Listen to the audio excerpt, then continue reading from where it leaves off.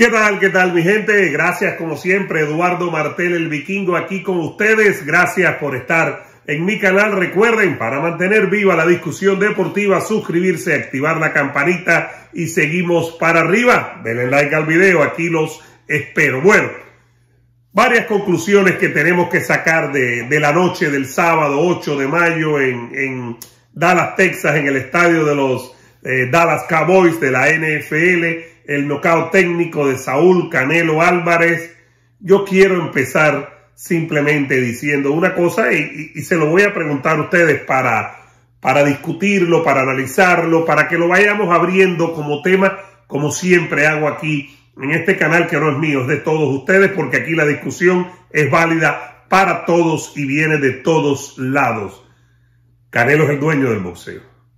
¿Alguna duda que Canelo es el dueño del boxeo? Y cuando digo dueño del boxeo, para que no me malinterpreten, no estoy hablando de los que dicen que Canelo las cláusulas, Canelo las trampas, eh, Canelo los rivales, Canelo esto, no. Canelo es el dueño por varias razones. Primero, porque para mí, como para muchos analistas de boxeo, creo que para la gran mayoría, Canelo es el número uno libra por libra. Los invito a que sigan a periodistas de boxeo inglés como Dan Rafael, Coppinger, Kevin Ayol, para que vean cómo admiran y cómo celebran el trabajo del Canelo en el ring. Es el dueño del boxeo, el amo, como diría Pep Guardiola. Es el dueño del boxeo Canelo Álvarez. Primero por eso, porque es el número uno libra por libra. Segundo, señoras y señores, es el que mueve las masas en Estados Unidos. 73.126 personas con la pandemia todavía trastabillando. No todo el mundo se ha vacunado, ni mucho menos, pero ahí estuvieron 73.126 personas en la fiesta más grande de boxeo de los últimos años.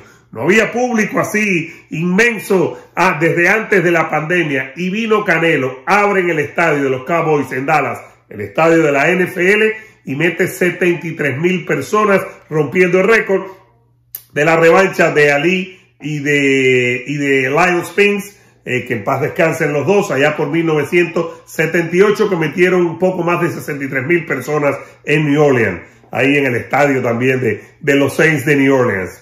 Eh, esto se llamaba Metrodome, no Mercedes-Benz Stadium, y creo que ahora va a cambiar de nombre. 10 mil personas más todavía con la pandemia viviente, eh, no solo en el mundo, sino en Estados Unidos, donde estamos, y Canelo mete esa cantidad de personas. ¿Por qué también es el, el, el, dueño del boxeo?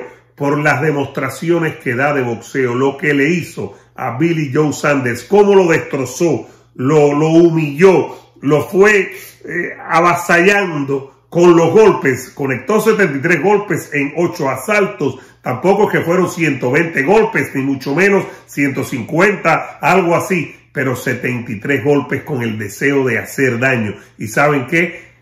El último reporte que tenemos desde Dallas, desde Fort Worth, en el hospital donde está Billy Joe Sanders, es que puede haber múltiples fracturas y que va a tener que ser operado. Para los que decían que Billy Joe Sanders debía seguir, para los que decían que Billy Joe Sanders tenía que haber seguido porque Margarito siguió, porque Inahue siguió, porque esto y esto y esto, etcétera. Recuerde lo que le hizo Joe Joyce a Dylan White. ¿Se acuerdan de eso? También le rompió y no pudo más y se tiró, no pudo más.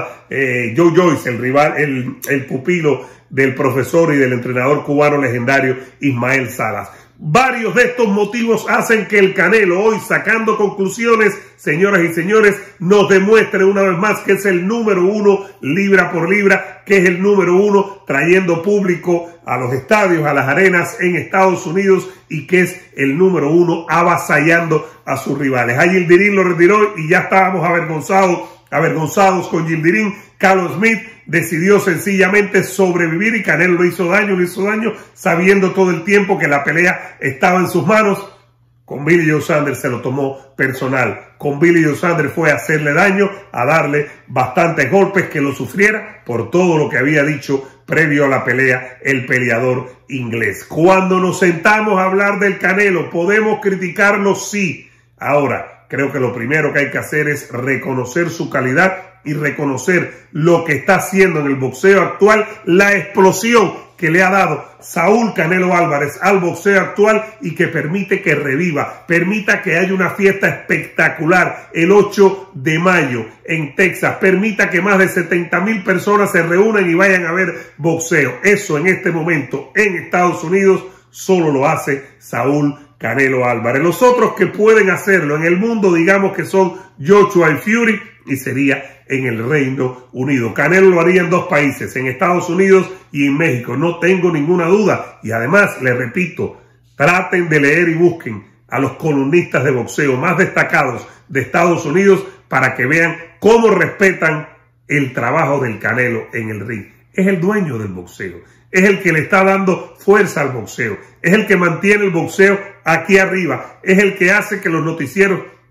Sports Center de ESPN abran con el Canelo. Es el que hace que los noticieros en Estados Unidos, en México y en gran parte del mundo abran y tengan como noticia fuerte eh, la pelea del Canelo. Es el que hace que las portadas de los diarios, aunque no sean deportivos, tengan algo de Saúl el Canelo Álvarez. Es el renacer del boxeo después de la pandemia o todavía con la pandemia y es gracias al poder que tiene el mexicano, el tapatío Saúl Canelo Álvarez, que además ya lo vimos ya durante toda la semana, está hablando inglés, está haciendo entrevistas en inglés, está llegando al público de Estados Unidos, señoras y señores, al público sajón, al público americano, al público que no consume en español porque habla inglés. Eso es lo que está haciendo Saúl Canelo Álvarez en este momento. Repito, ¿tienen alguna duda de que es el dueño del boxeo? Yo no lo tengo y lo digo hoy convincentemente sin ningún problema. Y no tengo eh, duda de que va a haber muchas críticas, de que se van a poner bravos algunos, que van a sacar cifras, cláusulas y cosas que no, que no existen y que son básicamente imaginarias. Saúl El Canelo Álvarez es en este momento, señoras y señores, el dueño del boxeo. Gracias por estar aquí, los quiero mucho. Yo soy Eduardo Martel, el vikingo. Suscríbanse, activen la campanita y denle like al video.